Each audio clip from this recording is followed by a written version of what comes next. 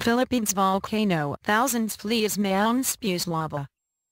Thousands of Filipinos have fled their homes on the northern island of Luzon after the Mount Mayon volcano began to spew lava. The authorities are forcibly evacuating villagers living within 6 kilometers, 4 miles, of the crater, about 330 kilometers southeast of the capital, Manila. Residents in the 6-8 kilometer zone are also being urged to leave.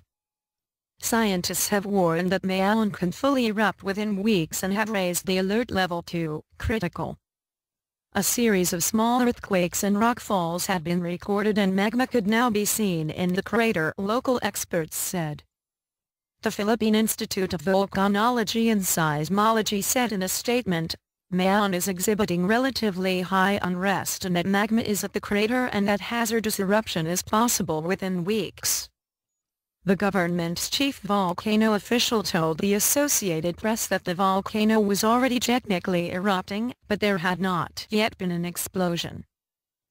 Currently, the activity is just lava coming down. If there is an explosion, all sides of the volcano are threatened, said Renato Solidum. Witnesses said molten lava at the top of the crater created a visible glow on Monday night. The number of affected residents ranges from 12,000 to 50,000, according to reports. Authorities believe they will be able to clear the area within three days. The 2,460 meters volcano last erupted in May 2013, killing four climbers and their guide. Mount Mayon has erupted more than 40 times. Thank you for watching.